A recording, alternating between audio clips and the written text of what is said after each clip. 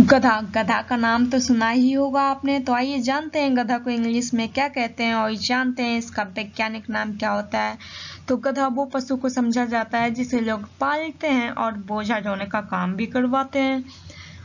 गधा घरेलू जानवर है जो कि घोड़े परिवार से आता है।